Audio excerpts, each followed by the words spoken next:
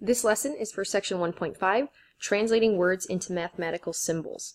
So today's objective is to translate a verbal phrase, you know that might sound uh, like it's going to be tough, but it's not too bad, into a mathematical expression. So we're going to take something in words and then put it into math symbols, essentially. So we're going to fill out this table here. The very first example says the sum of 2 and a number x. So this is the verbal phrase, so it's written in words, and we're going to basically just um, translate this so that it looks like math. Okay, so we know that the word sum means to add. So the operation here, let's go back and fill this part out here. It says uh, the operation is addition. So the sum of 2 and a number x, we would just write that as 2 plus x. So again, we have addition here, just represented with a different word. Because here it says a number n plus 7. So now we're going to take the variable n, and we're going to add 7.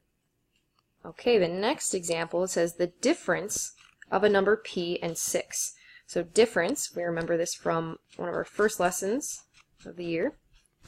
Difference means to subtract, so our operation here is subtraction. And again, you'll notice all of these problems in this particular box here are subtraction. We have a number minus 5. And then here, this one's a little trickier, but 5 less than means to subtract as well. So we'll, we'll talk about that one in a second. So let's go back to the, the difference example. So if we're going to find the difference of a number p and 6, we're going to write p minus 6. So that represents the difference between p and 6. So the difference of a number p and 6.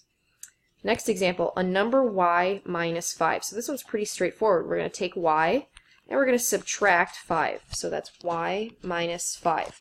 Okay, our next example here is actually pretty tricky. A lot of students will write this incorrectly, so I want you to pay extra close attention to this particular example. So when you see the words less than, you got to remember you're going to switch the order.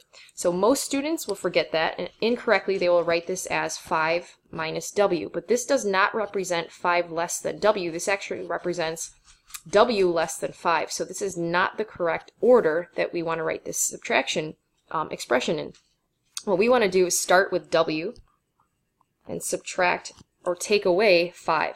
So this represents 5 less than W. Okay, so again, it's really, really important. So you're going to take the number that comes afterwards, actually, and you're going to start with that first whenever you see less than, and then the number that comes in front is the number that you're taking away from the number that comes behind it. So it is tricky. We'll practice it a bunch of times tomorrow, so you'll get used to it. But please remember when you see less than, switch the order. The order that you think you would use, go ahead and switch that around.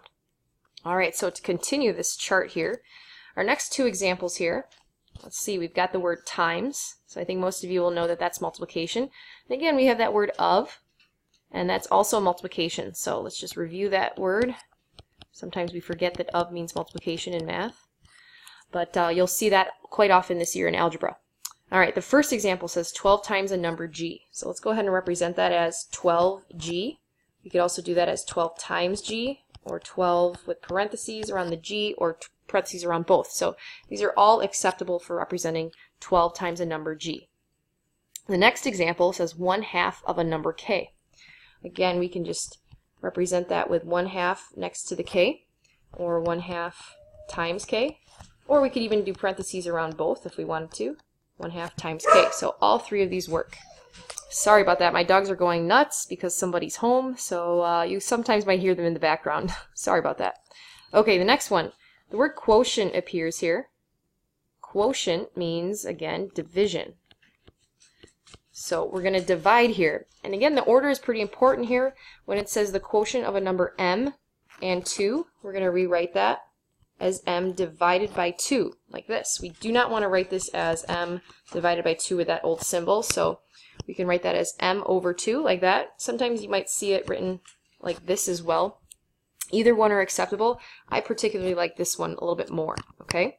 So I'm going to erase that and keep that as m over 2. So that represents the quotient of m and 2.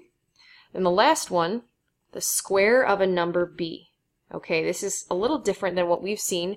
We had a lesson on this um, previously. This is a power, okay? So we've got a power, and normally we see this written as a number b squared. So if uh, remember that, squaring means you're going to raise that to the power of 2. So that's our um, expression here. The square of a number b is b squared. So we're just kind of exposing you to different ways of seeing uh, the same types of things, you know, in, in a math sentence. And we're going to try to translate those into math symbols. All right, that's the end of the lesson, guys. Nice job. See you in class tomorrow.